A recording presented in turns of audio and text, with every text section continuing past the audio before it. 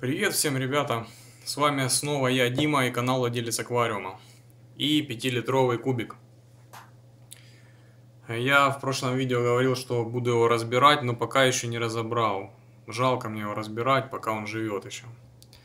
Вот. А, водичка перестала так желтеть, последствия от обработки а, перекисью прошли, мох нормально растет. Ну вот покажу я вам. Вот у меня там креветка э, в левом дальнем углу сидит, вишня. Так, а ну-ка я разверну сейчас аквариум, покажу я. Опа. Вот, видите, вот она сидит, прячется тут. Она недавно дала потомство. Хотел вам показать это потомство, но они, эти креветки мелкие, куда-то все попрятались, их не видно. Будем ждать, пока вырастут. В общем, тут две взрослых креветки. Вот, смотрите, одна э, красная, одна простая серая неокардина. Вот. В общем, пока аквариум живет, пока я его не трогаю, э, разбирать ну, пока не буду. Вот. Э, все растет нормально в нем.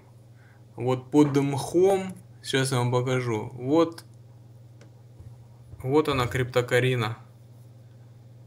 Как только отсюда уберу мох, она попрет со страшной скоростью, так как тут питательный грунт, и ей такие грунты нравятся. Но пока я не трогаю, пусть будет так. Кстати, может быть креветки мелкие вот тут вот в мхе и прячутся, но пока их не вижу. Так, а это у меня э, пенечек Вуцефаландры Сильвер Паудер отпал с большого аквариума, я вот его садил в грунт, а он почему-то всплыл. Сейчас опять вот его в грунт определим. Так. Что еще? Провожу также эксперимент вот с Анубиасом, вот он прям в грунте посажен. Вот он, мелкий. Растет, растет и маленький листик новый дал. Причем боковой листик, я не знаю почему так. Ну вот. А, растение, которое а, принес я с Днепра. Вот оно сбоку. Оно непонятно, оно вроде как приживается, оно пускает стрелку, и стрелка заворачивается. Может, это было связано с тем, что я как раз перекись вносил. Посмотрим, как на этот раз будет развиваться. Вот, покажу поближе. Ой, креветка позировать как раз прибежала. Вот. Коряга, да, вот такая поросшая она э, плесенью. Включу подсветку, чтобы было лучше видно. Ну, но я ее пока не трогаю. Пусть будет так, ну, не знаю, ее для того, чтобы ее обработать, нужно снять с нее мох, а я не хочу. Вот он мне красивый, он нравится. Вот. Пока так. А, что касается данного мха, светильник очень сильно мерцает, плохо, конечно. На нем а, образовался, образовались водоросли, то есть нечатка или даже не знаю что, сейчас я достану.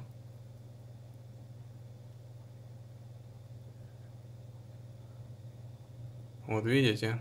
Как нитка. Сейчас погрузим в воду, увидите, какое оно. Вот. Тина такая, как в болоте. Не знаю, может быть, капнуть капельку перекиси? Что скажете? Пока помещу сюда, пусть тут все так и будет. Или вообще, может быть, не трогать. Ну, вот, а то второй раз подвергну риску э, весь аквариум. Вот там, кстати, если обратите внимание, то вот слева э, пробивается сквозь заросли мха Монте-Карло и Ричи пару веточек. Вот. Ну, вроде они как бы так растут.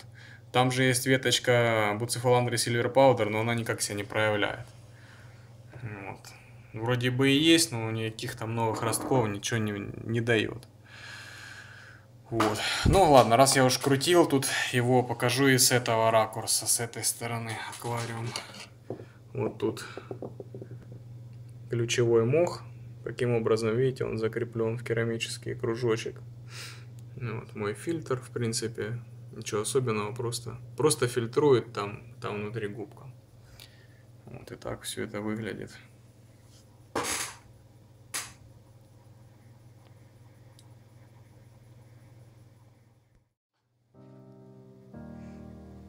В общем, вот такой обзор аквариума на сегодняшний день 5-литрового. Пока я его не трогаю, пока не буду его разбирать. Вот, э, посмотрим, как он дальше будет развиваться и насколько хватит нового терпения. Вот так вот красиво начал расти мох в воду.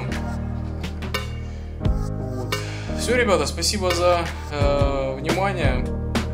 Кому интересно, ставьте лайк, кому понравилось. Оставляйте комментарии, подписывайтесь на канал. Всего доброго.